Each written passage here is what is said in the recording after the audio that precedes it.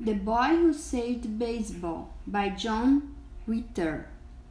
Essential question How do the media influence how people feel about events?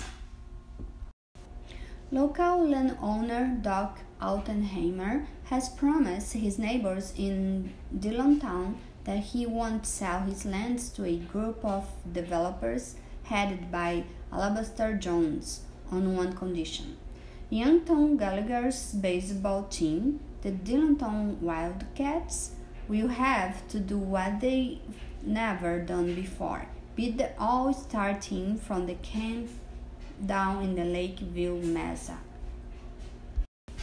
By now, droves of reporters and photographers and television crews roamed the grounds. The dirt roadway cutting through Doc's land and heading to the ballpark it was jammed both sides with satellite trucks, microwave trucks, radios, vans, and SUVs, all around the ball field. News crews set up lawn chairs, coolers, tripods, and umbrellas. Some of the townspeople showed up with cookies and ice cold lemonade berry tea for the press serving a few opinions to them as well. After he'd finished hitting, Tom heard one Los Angeles newscaster beginning his interview with Mrs. Gleason by saying, Folks, something phenomenal is happening in America today. There are more baseball games across the nation tonight than people have seen in many years. From little hamlets like this one to the last weed filled vacant lots in cities, everywhere the Wild West showdown flavor of this big game has fired up interests and imaginations all over this land. Just focus on your hitting and fielding. Del Gato reminded everyone as the team finished its second round of batting practice. Hitting, fielding. Then came the Sports Network truck, and the players stopped what they were doing and stared as it all sank in. The Dillontown Wildcats were going national. Don't pay any attention, They Del Gato called from the pitcher's mound. Crying out loud, they got nothing better to do than hound a bunch of kids.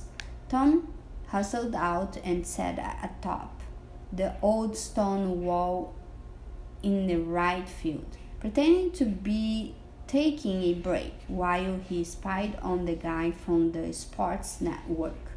How long's he going to pitch, fella? he asked Tom. One more hitter, then we are done.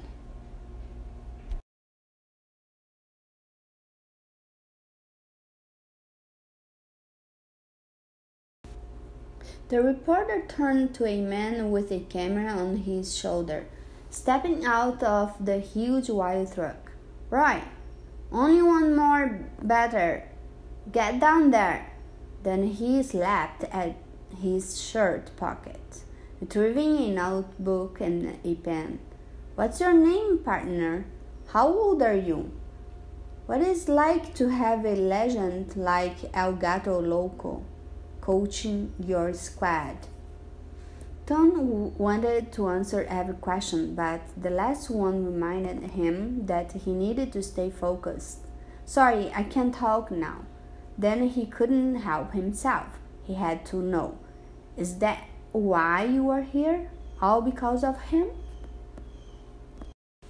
Oh no, don't you see, kid? This big game your whole situation here has caught the attention of the entire nation. It's David versus Goliath. It is loyalty versus the big bucks. The small market team fighting for its life against the big money boys who want to come in and bulldoze right over them. It's a metaphor for the entire game of baseball. It is. I'm telling you, buddy, it's more than a metaphor. This could be a Meta 5. With that, he stapled the pen back into his pocket, folded the notebook, and ran toward the cameraman, followed by another guy wrapped in headgear and holding a furry microphone on a pole. Luckily for the report and for everyone in the stands, the last batter was Cruz because he put on a show. Ramon, he called out, this one's for you. On the next pitch, he served up a low line into left field, two steps to the right of Ramon. Maria, get ready, he yelled, and the next one, a sharp ground ball, sizzled down the first base line. Maria snagged it on the short hop. The crowd would at how easily she made the play. By the time Cruz called Tom's name and set him deep against the right field wall.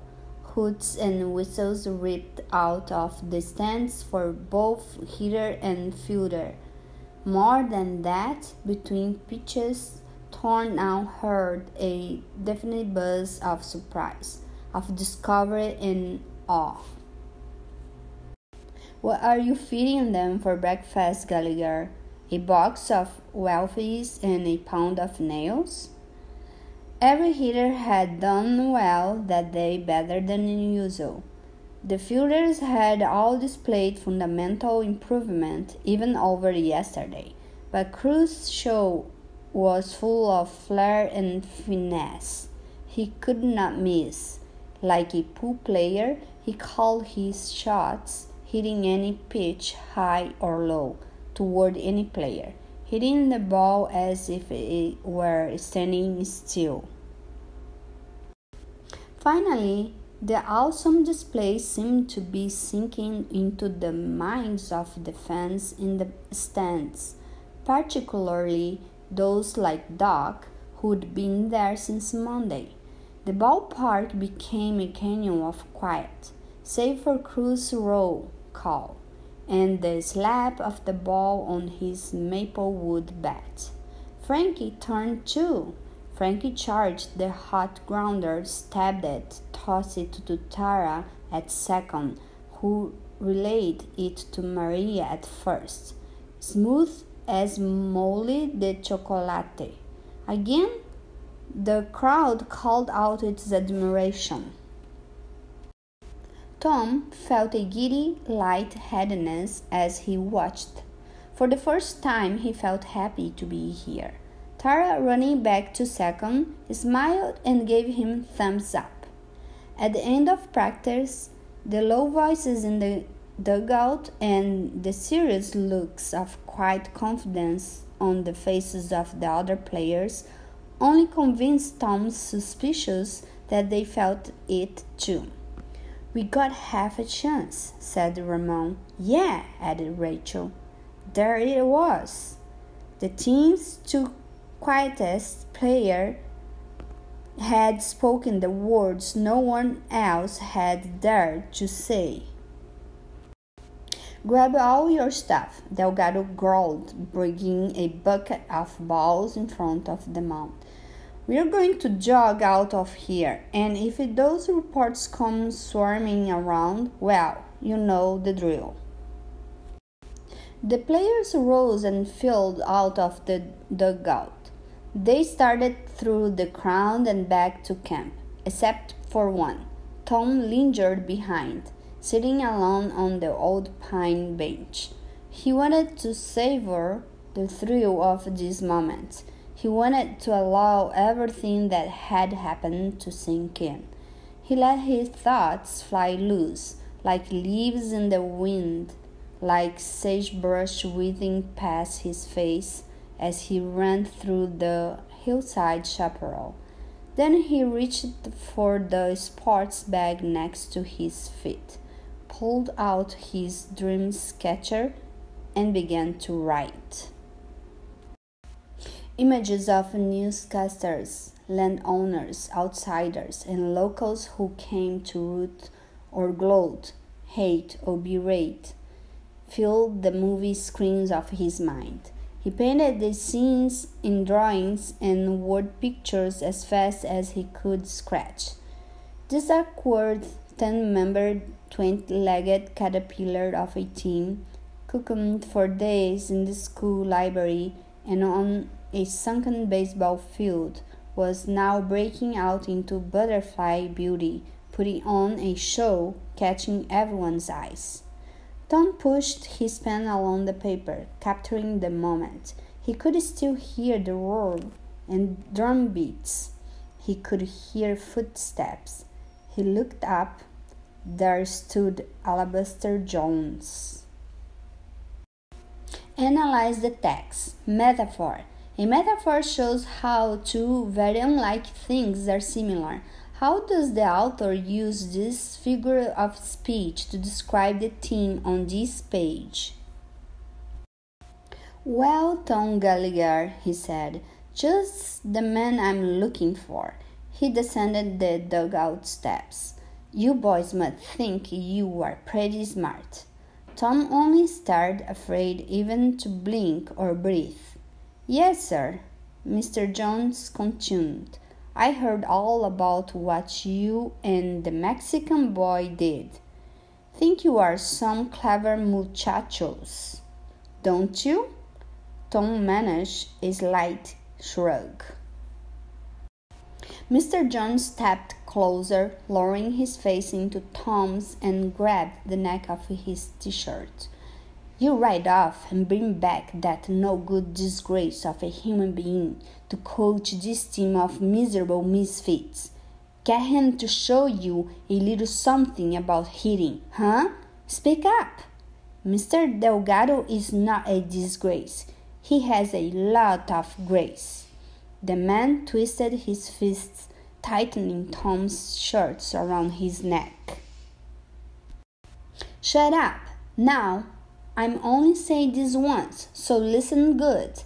If by hocus or by pocus you happen to win tomorrow and this land deal falls through, you will sincerely regret it. I have associates in this town who promise me that they will personally shut down Scrubwell Community School, fire the staff, and make all you Kids hike down and back each day to that Lakeview Mesa school if things don't go as planned. And why would we all do that? Simple lack of funds, my boy. It's big tax dollar you kids are playing with. Big money all around. Do you understand? He did. Instantly, Tom could see a whole chain of events, like dominoes falling rapidly slap into each other. Either the Wildcats lose tomorrow or Tom's parents lose their jobs. Then maybe even their home. Compared to that, a few houses up on the hill didn't seem so bad. Mr. Jones must be read the understanding on Tom's face. He let go of his shirt and smiled. Good, he said, because I can cause you more hurt than a heart attack. He grinned so wide. His sunburned lips turned white.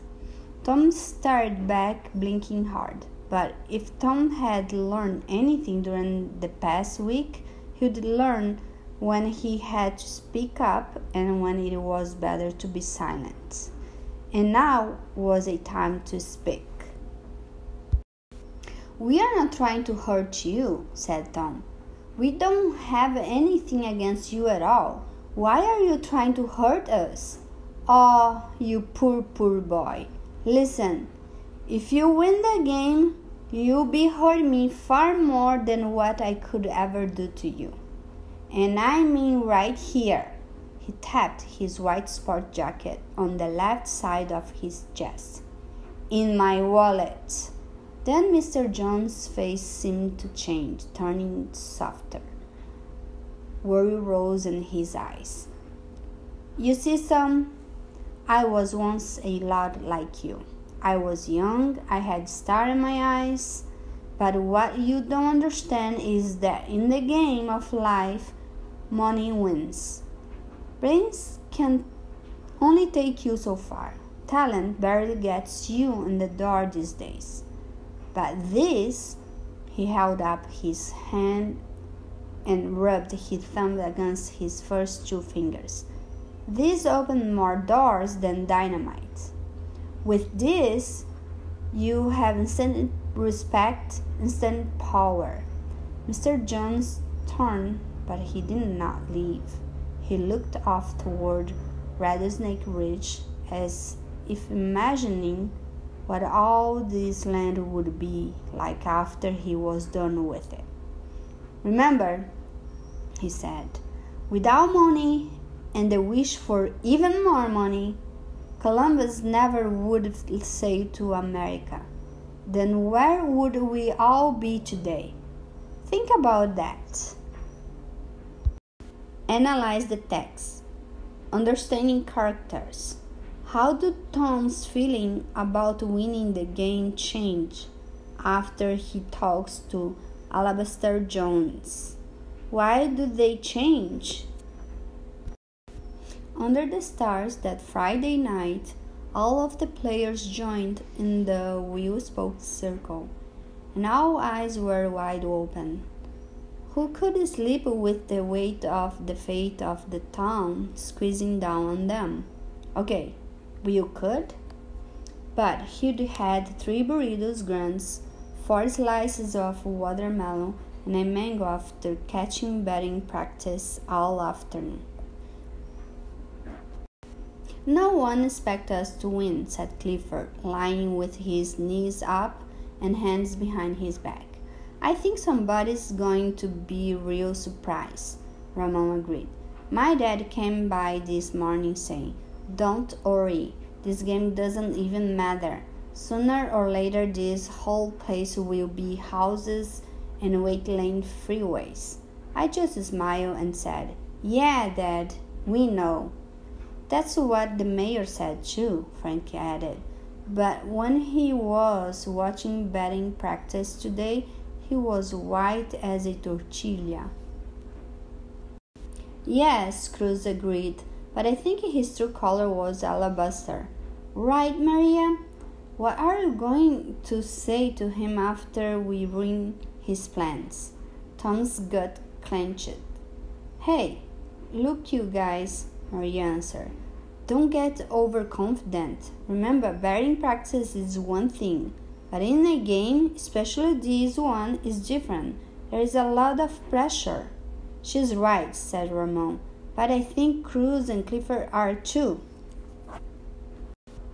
The way I see it, as long as we think we have a chance, we have a chance. Tom kept silent. His mind was still frozen under the snake eyes of a man named Jones who loomed above him like a viper over a rat. What did he expect Tom to do? Tell Cruz and everyone to throw the game? Tom was just the bench guy, the reserve player. Even if he got into the game, which would only happen if one team was way ahead of the other. He could strike out and make an error or two, but big deal. It would hardly affect the game.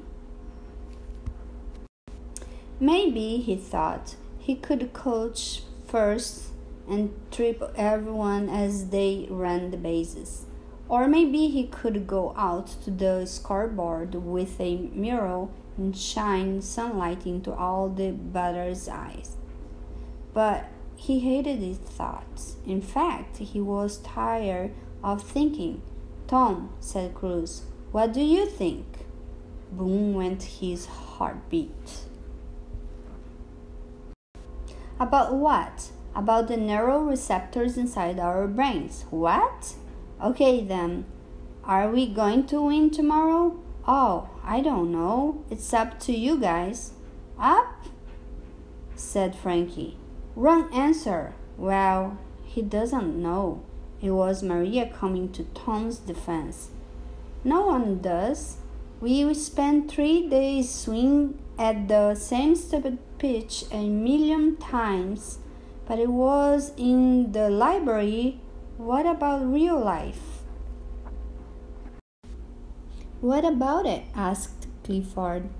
You saw us today. We smashed the chips and dip out of the ball. So? Rachel wrestled inside her bag as she flipped over to her stomach. I mean, I don't know what happened to us in the library. If we got hypnotized or reprogrammed or brainwashed or what. All I know is we can't forget we are human beings and human beings have control over their thoughts. And as long as we concentrate on doing our best, we shouldn't worry about winning or losing. She paused, her voice lowered to a whisper. I just believe that when people do things with good intentions, good things happen. I like when Tom and Cruz rode off to see Del Gato. But when we do stuff out of fear, bad things happen. She looked around. A lot of people are afraid of what might happen tomorrow, but we can't be. Then, whatever happens, will turn out okay. Even if we lose? asked Frank. Even if we lose, I mean, from where we are, losing may look like a total disaster like we just accidentally busted down someone's wall. Though he couldn't see her, Tom could hear the smile in her voice. But you know, we only see it from here. How does it look from the hawk's nest or from the stars? No one said a word. Everyone, even Tom, searched the night sky roamed the ether, bouncing around between the moon, the stars, and the eucalyptus tree. From treetop, from the hawk's perch, Tom thought about the game, the town, the hillsides. In a million years, a short time, really, in space years, would it even matter whether they won or lost? In a thousand? What about a hundred? Who could say? But he knew one thing Rachel was right. He'd seen it too many times. When he froze up from fear, he did stupid things, like never talking to Doc about the ball field. And when he let his mind fly above the fear, he saw hitting a baseball as just another form of GPS tracking. No matter if his parents got fired and his family had to move, no matter what trouble Alabaster Jones might cause, Tom determined that tomorrow he would play to win. And now he wondered how he could consider doing anything else. Analyze the text. Theme. What is the theme the author is trying to convey to readers? How do you know? Journalism, literacy, and liberty. In The Boy Who Saved Baseball, some of the locals preparing for the big game were doubtless impressed by the arrival of national newscasters. Others include Mr. Del Gato, were distressed. How dare those crass journalists and photographers descend in mass like that, pestering the players and fans for the sake of a few lines of copy? It takes more than a little grouchiness from the public, however, to keep the press from its appointed rounds.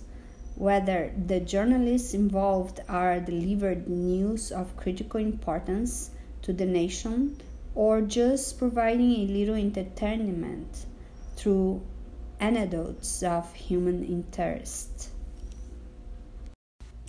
For hundreds of years, humankind has read about the recent past in the words of journalists, reports, columnists, essayists, bloggers, social media gurus, and other. However common such writing and reading may seem today, one needn't travel too far into the past to find a time when the news, and indeed the written word itself, was available only to the elite, to the very few, for the simple reason that most people, for most of history, could not read at all.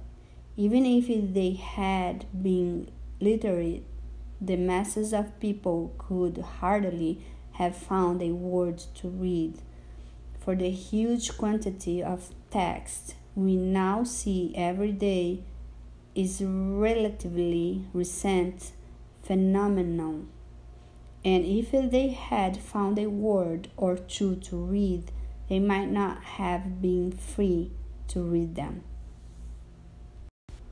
precursors to the modern newspaper the epitome of journalism and the most accessible form of news for generations, appeared about two millennia ago in ancient Rome. During the same time period, Chinese emperors, empresses, and other government officials were being briefed on current happenings via regularly published reports. However, both the Chinese and the Roman reports had to be copied by hand. Therefore, their circulation was severely limited, not just by the low literacy level of the populace, but also by the labor required to make multiple copies. Government censorship, too, played a major role in limiting the spread of the printed word. Rulers were reluctant to allow their subjects access to information that might make them rebellious. About 500 years ago, literacy levels among the general populace in many parts of the world began to rise dramatically.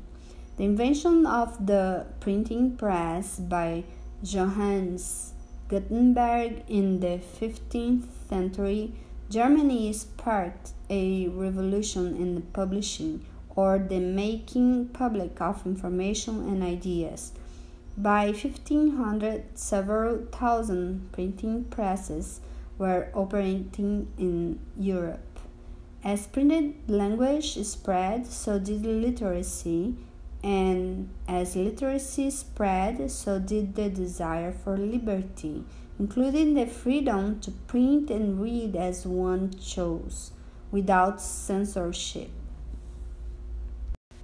Gutenberg's press was swiftly replicated and improved upon, and European publishers began distributing books by the millions.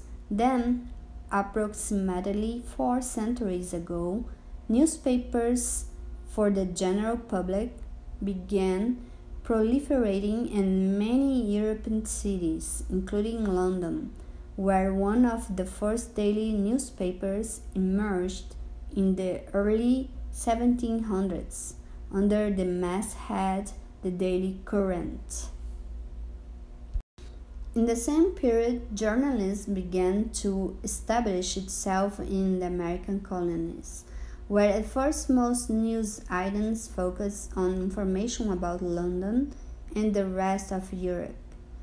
Gradually, as independence minded thought began to flourish in the colonies, newspapers became more local, less European in content. They began to focus on ideas and issues in the colonies themselves. Journalists and publishers, such as Benjamin Franklin, began using the press as a vehicle for not only news but also witty commentary on issues of the day. The rest, as they say, was history. Journalistic freedom and relatively widespread literacy helped to fuel the flames of the American revolutionary spirit and ultimately lead to the founding of the most freedom loving nation in the history of the world. In the words of America's most revered publisher. Without freedom of thought, there can be no such a thing as wisdom, and no such a thing as public liberty without freedom of speech. Benjamin Franklin, The New England Courant, July 9, 1722.